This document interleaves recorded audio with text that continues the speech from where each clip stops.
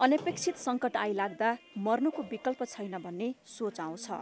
तर धैर्य विवेक र उचित प्रयासका साथ अघि बढ्दा त्यही सङ्कट अवसरको रूपमा परिवर्तित बन्छ र त्यही स्थिति गर्वको विषय बन्छ। लक्ष्मी कुँवर त्यस्तै परिस्थिति र सङ्घर्षकी उपज हुन्। रुखबाट बजारिँदा ढाड भाँचिएपछि दुवै खुट्टा एकाएक नचल्ने भए। केही समयका लागि जीवनको अर्थ र सान्दर्भिकता सकिए जस्तै लाग्यो उनलाई र पुकार गरिन्।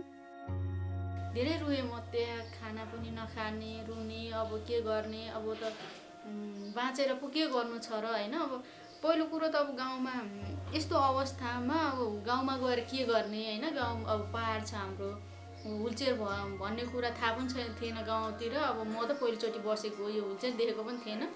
अनि अब यो हुलचेयरमा कसरी जीवन जिउने अनि घर गएर के गर्ने होला कसरी मेरो जीवन चल्छ?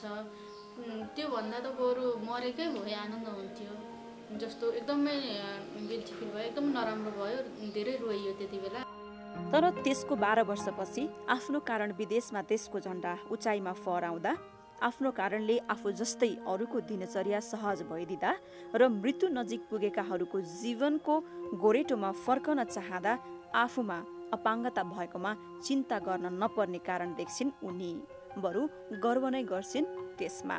तर यसरी राष्ट्रको झन्डा बोकेर अन्तर्राष्ट्रिय स्तरमा यसरी आफ्नो प्रतिभा देखाउन पाउँदा चाहिँ म अपाङ्गता भएको नै ठिक रहेछ जस्तो पनि लाग्छ। कठिन र कष्टपूर्ण यथार्थ स्वीकार गर्न मन सहजताका साथ तयार हुँदैन। गुल्मीको सामान्य परिवारकी लक्ष्मीका लागि घरको कामकाज सकेपछि दौडिएर भए पनि समयमै स्कुल पुग्नुले अर्थ राख्थ्यो। एक दिन त्यस्तै दौड अन्तिम भयो। उनका लागि। दुई हजार त्रिसठी साल माघ उन्नाइस गते घाँस काट्दा काट्दै उनी रुखबाट खसिन्। अनि घाँस काट्ने क्रममा रुखबाट लडेर स्पाइनल कर्ड मेरुदण्ड पक्षघात भन्छ। मेरुदण्ड पक्षघात। अनि त्यतिखेर त अब ला के भयो होला खुट्टा? अब चल्छ कि चल्दैन? किन यस्तो भयो? कसरी भयो? एकदमै दुखाइ थियो टेन्सन रुन मात्र रो रोको रोकै थिएँ अब अब एकदमै गाह्रो भइरहेको थियो। तर त्यतिखेर अब उपचार गर्न हस्पिटल ल्याउनु भएको छ। जो दुई चार दिन अथवा कति महिना लाग्छ उपचार गरेर अब खर्चको जति लागे पनि निको चाहिँ हुन्छ म सन्चो चाहिँ हुन्छु पहिलाको जस्तै अवस्थामा फर्किन्छु भन्ने चाहिँ थियो। टिचिङ हस्पिटलमा भर्ना भयो। त्यसपछि भर्ना भएको चार पाँच दिनपछि मेरो अपरेसन भयो पछाडि ढाडको। अनि त्यहाँ ढाडमा स्टिलहरू राखेर त्यो पाताहरू पनि राखेको छ त्यो ढाड सिधा गर्नुको लागि होला। अनि त्यसरी नै अपरेसन गरियो। त्यसपछि चाहिँ अब उहाँहरूलाई थाहा रहेछ हुँदैन भन्ने कुरा होइन डक्टरहरूले त अब मलाई हुँदैन भन्ने त एक्कासी त भन्नु भएन। अनि बिस्तारै हुनुहुन्छ भनेर पछि त्यहाँ एक महिना राख्नुभयो टिचिङ हस्पिटलमा अनि त्यसपछि चाहिँ अब उहाँहरूले चाहिँ थाहा रहेछ अब उसको खुट्टा चल्दैन उसलाई फिजियोथेरापी गरेर अलिकति त्यो म बस्न सहज हुने जे हुलचेयरमा बस्न सहज हुने होस् भन्ने तरिकाले उहाँ जोरपाटीमा रियाब सेन्टर थियो एउटा स्पाइनल इन्जरी पुनस्थापना केन्द्र त्यहाँ पठाउनु भयो। तर अब हामीलाई त त्यस्तो भन्नु पनि भएन होइन? अब हुन हिँड्न सकिन्छ होला भन्ने मात्रै थियो। अब कति समय लाग्छ हिँड्न सकिन्छ मात्रै थियो। अनि उहाँ गइसकेपछि स्पाइनल इन्जरी पुनस्थापनामा गइसकेपछि त्यहाँ अब आफू जस्तै धेरै हुनुहुन्थ्यो wheelchair wheelchair spinal cord injury भएको व्यक्तिहरू। अनि त्यसपछि उहाँहरूलाई देख्दा अनि उहाँहरूकोबाट उहाँहरूले चाहिँ काउन्सिलिङ गर्ने अनि उहाँहरूले अब उहाँहरूलाई पहिले थाहा हुँदो रहेछ अब यसको इन्कम्प्लिट कम्प्लिट अब लेभल अनुसार थाहा हुँदो रहेछ लेभल कतिमा चोट लागेको छ कस्तो खालको चोट हो भन्ने कुरा। अनि त्यो अनुसारले उहाँले फिजियो गराउने अनि काउन्सिलिङ गर्ने अनि हुलचेयरमा जो हुलचेयरमा बसेर आफ्नो काममा कसरी गर्ने भन्ने कुरा जस्तै बेडबाट हुलचेयरमा ट्रान्सफर हुने टोइलेटिङको लुगा चेन्जिङहरू यताउता सबै आफ्नो काम आफै गर्न सक्ने बनाउने तरिकाले रिहा गर्नुहुने रहेछ। अनि त्यो गर्दै जाँदा बिस्तारै थाहा भयो कि अब सधैँभरिलाई खुट्टा नचल्ने रहेछ। अब म मेरो खुट्टा भन्नु नै सधैँभरि हुलचेयर रहेछ भन्ने कुरा चाहिँ बिस्तारै पछि तिन महिनापछि लगभग दुई तिन महिनापछि मात्रै थाहा भयो। त्यो सँगै उनका अनगिन्ती सपना विलिन भएको ठानिन् र व्हिल चेयर उनको सहारा भयो। पीडा शब्दभन्दा आँसुबाट बगाउनु नियति बन्यो। सम्भवै देखिनँ कि त्यतिखेर पनि बाबाआमासँग बाबाआमा बुढाबुढी हुनुहुन्छ कति जेल स्याहार गर्ने मलाई उचालेर राख्न अब स्याहार गर्ने नसक्ने हुनुहुन्छ। अनि भाउजूहरूको सपोर्ट लिँदा अब पछि मन दुख्ला के होला होइन? त्यसरी चो हुनुभन्दा अहिलेदेखि नै टाढा बस्ने आफ्नो काम गर्न आफै सक्छु भन्ने आँट आइसकेको थियो त्यतिखेर। अनि त्यसपछि एक्लै बसेर पढ्न थालेँ। सायद लक्ष्मीको पीडा उनलाई उक्त पुनर्स्थापना केन्द्रमा सिकाइको तालिम दिने पूर्णिमाले बुझिन्। उनलाई इन्डिपेन्डेन्ट लिभिङ सेन्टर लगिन्। काठमाडौँमा डेरा पाउनु अर्को चुनौती बन्यो उनका लागि। त्यतिखेर एकदमै गाह्रो कोठा खोज्ने क्रममा नि धेरैवटा घर चाहेँ मैले होइन?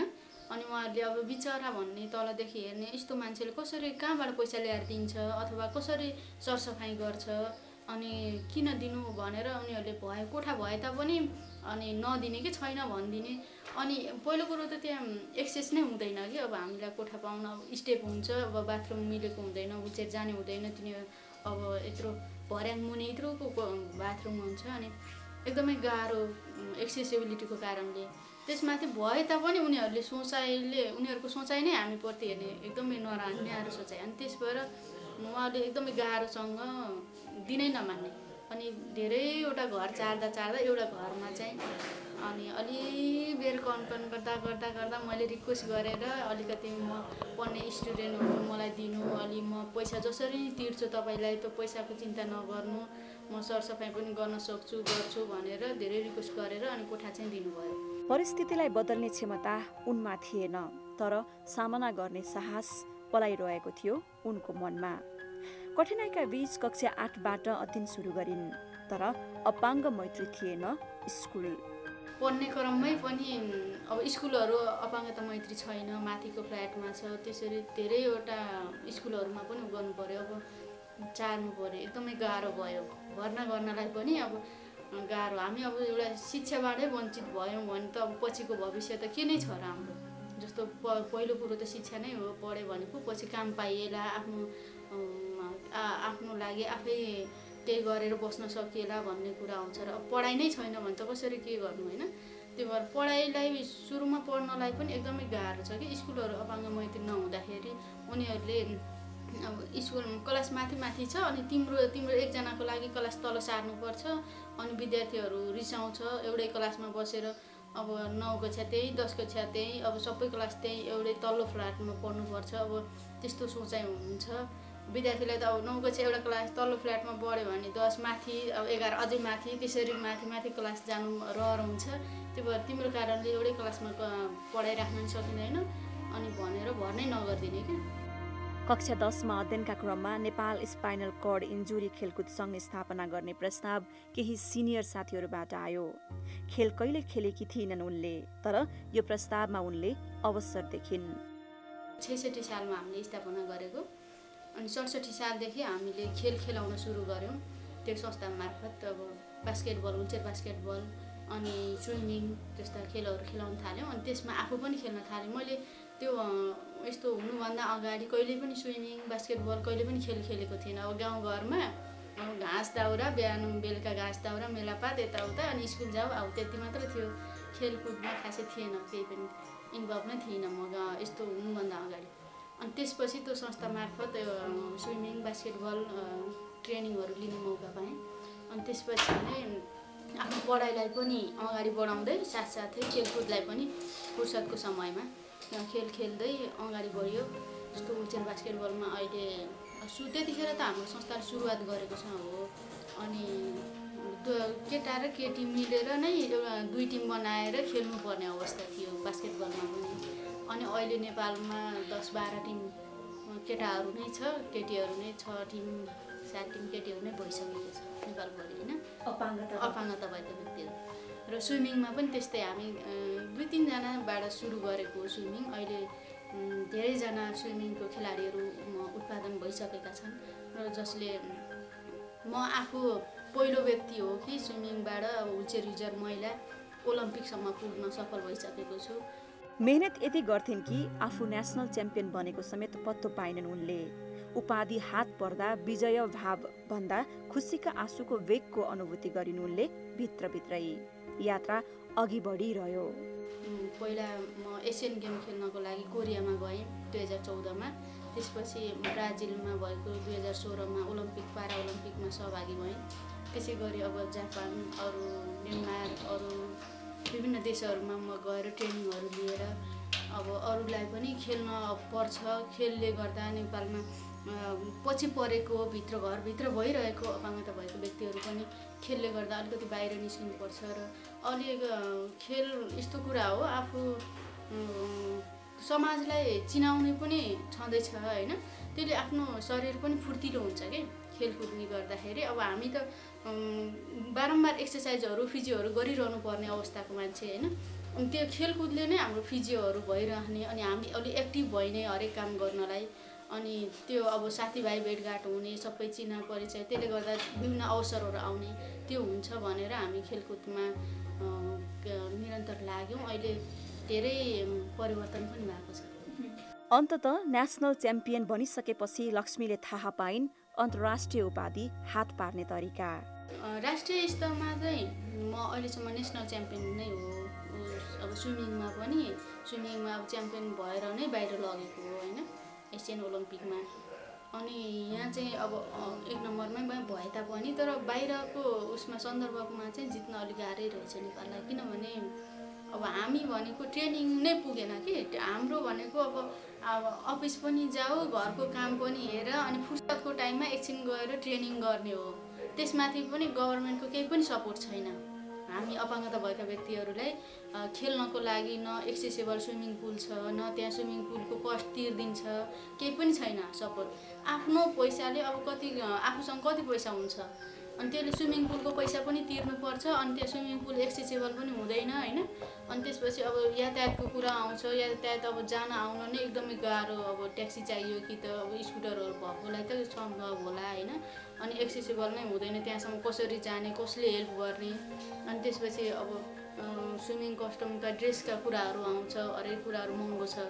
अनि त्यो म्यानेज गरेर अनि अब अफिस गएर काम गर काम सकाएर फुर्सदको टाइममा खेल्ने खेलाडी हामी। है अब नेपालको सरकारको कुनै सपोर्ट छैन।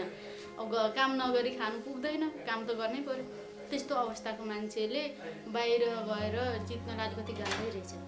मैले त्यहाँ फर्स्ट टाइम एसियन खेलमा कोरिया जाँदाखेरि नै म धेरै साथीहरूसँग बुझेँ। अरू अरू देशको साथीहरूसँग कुरा गर्दै जाँदा उहाँहरूको चाहिँ के रहेछ भने अब उहाँलाई सबै फुल्ली गभर्मेन्टको सपोर्ट होइन। उहाँहरूले अपार्टमेन्ट दिएर गभर्मेन्टले नै एउटा खेलाडीलाई तलब दिएर अनि फ्ल्याटमा राखेर उसलाई सहयोगी एउटा छुट्टै डक्टर छुट्टै अनि उसको लागि फिजियोथेरापी छुट्टै कोच छुट्टै होइन। अनि कति खाना खाने कतिखेर ट्रेनिङ गर्ने सब लिमिटमा क्या उनीहरूको। त्यसरी गरेको अवस्था रहेछ कि काम नै खेल्नै खाने त्यति मात्र छ। उनीहरूलाई अरू चि- कुनै कुराको चिन् चिन्ता छैन कि खेल्ने मात्र भयो अब त्यस्तो गरेर बसेको मान्छेहरूसँग होइन हामी यति धेरै दुःख गरेर अब आफ्नो त्यो भयो केही समय मात्र छुट्याएर प्र्याक्टिस गरेर त्यहाँसम्म पुग्नु पनि ठुलो कुरा रहेछ भन्ने कुरा बुझेँ क्या मैले। उनीसँग सो सिर्जित आत्मविश्वास कुन हदसम्म छ भने काठमाडौँबाट आफ्नो जन्मथलो गुल्मी स्कुटरमा पुगिन् पछाडि व्हिल चेयर झुन्डाएर। घरमै जाउँ घरमा अलिकति अवेरनेस पनि हुन्छ भन्ने तरिकाले पनि गएको किनभने गाउँको मान्छेलाई त म यसरी काम गर्छु अनि म आफै स्कुटर चलाएर काम गर्छु पढेँ यत्रो पढ्यो यत्रो खेल खेल्छु भन्दा अलिकति विश्वास छैन क्या। कोही कोही गाउँबाट यहाँ आउनेहरू देखेकाहरूलाई त भयो होइन। नभए गाउँको प्रायः सबै मान्छेलाई विश्वास छैन नि त। अनि तिनीहरूलाई अलिकति विश्वास दिलाउन पनि म जानुपर्छ है जस्तो लाग्यो कि आफूलाई पनि। अघिल्लो पल्ट दसैँ ताका मन थाम्न नसकेपछि सार्वजनिक बसमा गुल्मी जाँदाको पीडा उनले खेप्न सकिनन्।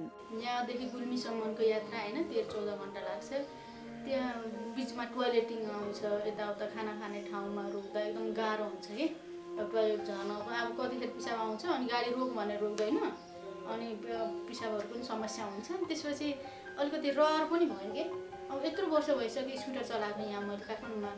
अब गुल्मीसम्म पुगौँ न त भनेर अनि र अब यता उनी स्कुटरमा दैनिक जोरपाटीबाट ललितपुर सानेपा स्थित काम गर्न आउँछिन्। जो पार्टी मेरो बसाइ होइन? अफिस यहाँ यति टाढा है? अनि त्यसपछि आउन जान एकदमै कठिनाइ भयो। अनि त्यसपछि गाडीमा आउँदा गाडीले नरोक्ने यो कुरा एकदमै गाह्रो भयो कि? अनि गाडीमा लेट रोक्दैन थियो अनि म सिधै त्यहाँ चोकमा आएर ट्राफिकलाई भन्न जान्थेँ। ट्राफिकलाई मलाई यो फल्ना ठाउँमा जानु छ गाडीले लिन मान्दैन मलाई गाडी चढाइदिनु है भन्थेँ अनि अब बस एकछिन भने अनि गाडीलाई रोकाएर यो बहिनीलाई राख भनेर अनि राखिदिनुहुन्थ्यो नभए ट्राफिक गाडीले दिनै नमान्ने ऊ चाहिँ कहाँ राख्ने? कसरी मान्छे राख्ने भने अनि रोक्दै नरोक्ने कि गाडीले? अनि त्यसपछि त्यो गाडीसँग डिस्कस गर्नुभन्दा सिधै ट्राफिकसँग कुरा गऱ्यो। मलाई यो ठाउँमा जानु छ मलाई हेल्प गर्नु है भनेपछि ट्राफिकहरूले हेल्प गर्नुहुन्छ तर। अनि सधैँ त्यसै गरी नै अफिस आउने जाने अब ज अझ त्यहाँ पहिला कुकन्डोलमा थियो अफिस। कुक कुकन्डोल आउनु पनि त्यहाँ म जोरपाटीबाट उसँग शङ्खमूलसम्म आउँथेँ टेम्पोमा शङ्खमूलदेखि हुलचेरमै गुडाएर आउँथेँ। हुलचेर गुडाएर त्यहाँ आउँथेँ। अनि त्यसपछि बेलुका जाँदा पनि शङ्खमूलसम्म हिँड्दै जाने। अनि शङ्खमूलदेखि फेरि अझ शङ्खमूलमा चाहिँ ट्राफिक हुँदैन थियो अलिक गाह्रो हुन्थ्यो। अनि बल्ल बल्ल रिक्वेस्ट गरेर चढाउने अनि कहिले काहीँ ट्याक्सीमा जानुपर्ने नम्बर नलिएर अनि एकदमै दुःख गरेर एक वर्ष बिताएँ त्यसै गरी नै। अनि त्यसपछि चाहिँ घरमा भनेर मलाई यसरी अब काम पाएको छु पछि काम पनि फुस्किन सक्छ होइन? म स्कुटर किनिदिनु म स्कुटर भएपछि म कलेज पनि जान पाउँछु। कलेज त्यतिखेर छुटिरहेको थियो अनि मैले प्लस टू सकिने बित्तिकै काम गरेको अनि त्यसपछि चाहिँ स्कुटर लिएपछि अनि ब्याचलर उता पिके कलेजमा जोइन गरेर अनि बिहान कलेज जाने अनि दिउँसो अफिस आउने। तर आफ्नो सबै काम व्हिल चेयरबाट सक्दा दर्बिलो स्वाभिमान अनुभव गर्छिन् उनी। खाना पकाएर र खाएर करिब बिहान आठ बजे उनी कार्यालयतर्फ मोडिन्छन्। लामो कच्ची र धुलाम्मे सडक कष्टकर लाग्छ। कार्यालय पुगेपछि त्यो बाटोका सबै दुःख भुल्छिन् उनी। केही गर्नको लागि म यसरी अपाङ्गता बनाइदिए दिनुभएको रहेछ भगवान्ले। मैले अब जस्तो खेलकुदकै कुरा गर्दा अपाङ्गता क्षेत्रमा काम गरेकै कुरा गर्दा अहिले यहाँ यसरी अरू आफू जस्तै अपाङ्गता भएको व्यक्तिहरूलाई भेटेर काउन्सिलिङ गरेर उनीहरूलाई मोटिभेट गरेर उनीहरूको पनि नयाँ जीवन पाउँदाखेरि एकदमै खुसी लाग्छ। लक्ष्मीको काँधमा अहिले खास गरी दुईवटा जिम्मेवारी छ। आफू जस्तैका लागि खेल क्षेत्रको विकास गर्ने र अपाङ्गता भएकाको जीवन सहज बनाउने। त्यसलाई जीवनको मिसन बनाएकी छन् उनले।